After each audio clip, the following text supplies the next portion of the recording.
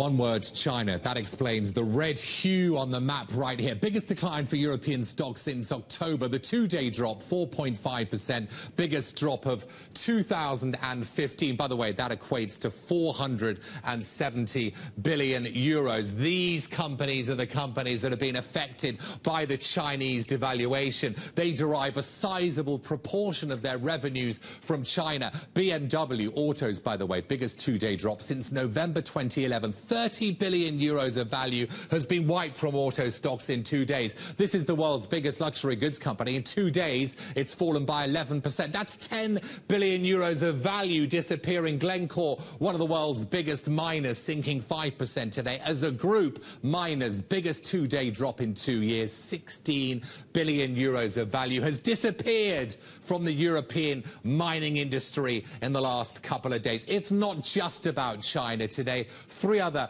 big movers across Europe. Henkel, it makes Schwarzkopf shampoo, 8.8% lower today.